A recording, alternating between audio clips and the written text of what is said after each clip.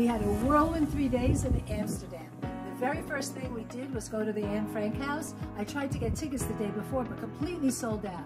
So as soon as we landed in Amsterdam, we put our bags down and we went online to see if we can get in that way, and we got lucky. We waited 40 minutes, but it was worth the wait.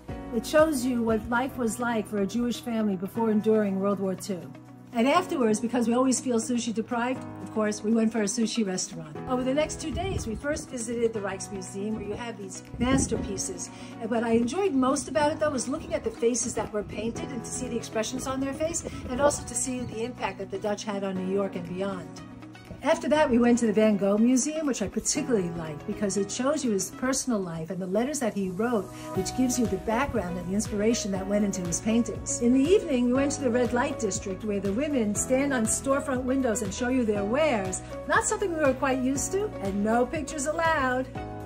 The next day we went on the canal tour, which gives you a full city view on over 100 kilometers of water. And our final stop was to the Heineken Beer Museum, which shows you how beer is made from soup to nuts or to beer.